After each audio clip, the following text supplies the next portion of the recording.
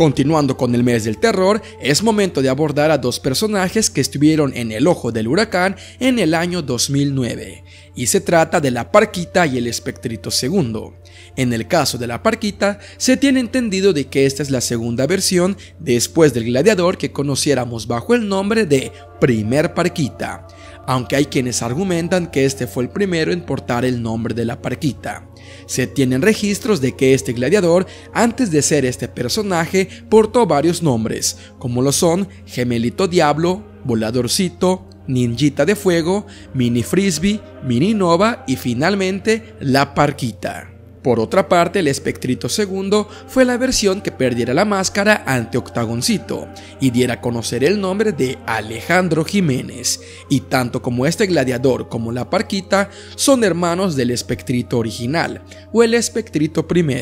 quien perdiera la máscara ante Mascarita Sagrada, dando el nombre de Mario Mejía Jiménez, pero desafortunadamente los nombres de estos gladiadores dieron la vuelta al mundo por un suceso inesperado, ya que según por los reportes del en ese entonces la Procuraduría General de Justicia del Distrito Federal, en junio del 2009 estos ingresaron al Hotel Moderno, ubicado en la colonia centro de la delegación Cuauhtémoc, donde pasaron la noche en la habitación número 52 con dos mujeres de la vida galante pero siendo las seis y media de la mañana, éstas abandonaron el lugar, por lo cual personal de limpieza al momento de realizar sus labores se percataron que ambos gladiadores ya habían partido a la arena celestial. Según por el reporte, las mujeres utilizaron medicamentos para dejarlos inconscientes y poder quedarse con sus pertenencias, pero en dosis fuertes y combinadas con alcohol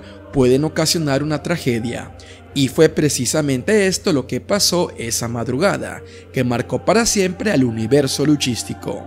En 2010, un año después de lo sucedido, se dicta sentencia a las involucradas en estas acciones, María de los Ángeles Sánchez Rueda y Estela González, dándoles 47 años de prisión y un pago de 141.210 pesos. Antes de seguir con el video, recuerda que me puedes seguir en Instagram, ya que me encuentro muy activo en esta red social. Puedes buscarme como Misa de Oxígeno, al igual que suscribirte al canal y activar la campanita de las notificaciones para que estés al pendiente de todos los videos que se suben a Videos Oxigenados. Continuando con el video, este acontecimiento marcó también a las demás versiones de la Parquita, ya que en una entrevista que le realicé al gladiador que utiliza el nombre de Primer Parquita, comentó que estos sucesos le hicieron perder mucho trabajo, ya que muchos promotores creían que él había fallecido, y también asustando a su familia, ya que al momento de darse a conocer esta noticia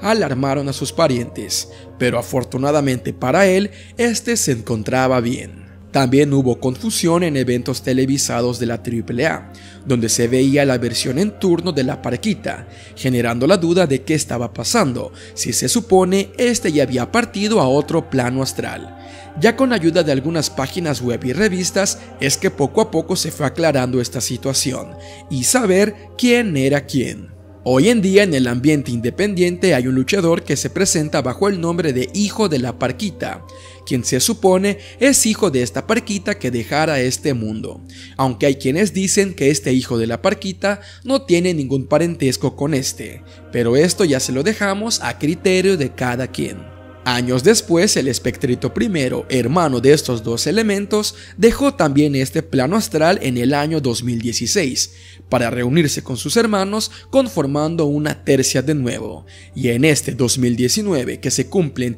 10 años de la partida de la Parquita y el espectrito segundo, los recordamos en el canal de videos oxigenados en este mes del terror y la interrogante de qué hubiera pasado si no ingresaban a ese hotel, qué logros más tendrían, qué pensarán de las versiones que surgieron de sus personajes, siempre será un misterio sin resolver. Recuerda que seguimos en el mes del terror. Deja en tus comentarios qué otros videos de este tipo te gustaría ver en el canal. Mientras tanto, si el video te gustó, regálame una manita arriba, suscríbete y activa la campanita de las notificaciones para que no te pierdas ningún video del canal. Yo soy tu amigo el faraónico Misael Quijano y te invito a seguirme en Instagram para estar más en contacto. Nos vemos hasta la próxima.